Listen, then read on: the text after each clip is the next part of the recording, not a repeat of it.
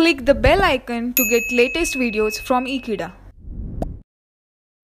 Hello friends, in today's video we are going to see various parameters that can be used for analysis of full wave rectifier that is full wave bridge rectifier as well as full wave rectifier with center tap transformer.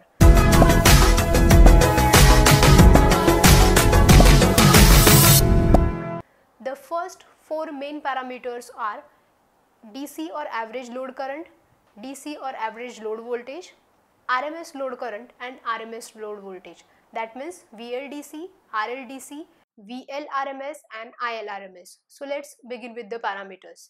The first parameter that we need to consider for analysis of full wave rectifier is DC or average load current that is nothing but ILDC.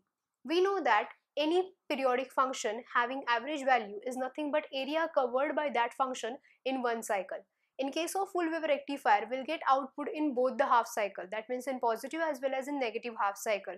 Therefore, in case of output waveform of full wave rectifier, whether it is center tap transformer rectifier or full wave bridge rectifier, the complete cycle is from 0 to pi.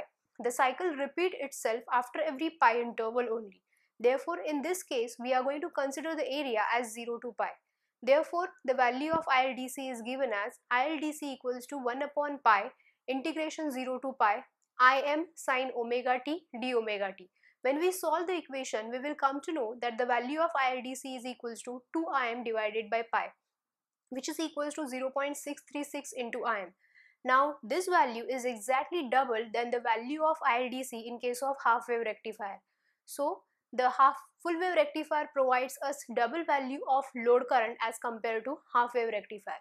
The second parameter that we are going to see in case of full wave rectifier is nothing but a DC or average load voltage that is nothing but VLDC.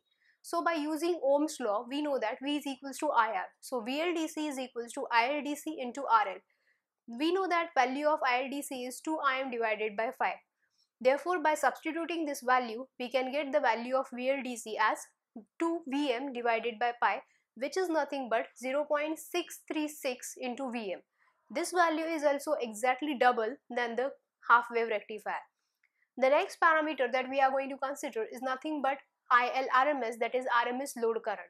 In case of RMS load current also we are going to consider the output current waveform of full wave rectifier in which we will get output in both the half cycle positive as well as negative and we are also going to consider the same interval that means 0 to pi. So the value of ILRMS is nothing but Im divided by square root of 2 where Im is your peak current and Im is equals to Vm divided by Rs plus Rf plus RL. This value of Im is for full wave rectifier with center tap transformer. But if it is a bridge rectifier, then value of Im becomes Vm divided by Rs plus 2Rf plus RL. Now moving towards the next type of parameter that is RMS load voltage.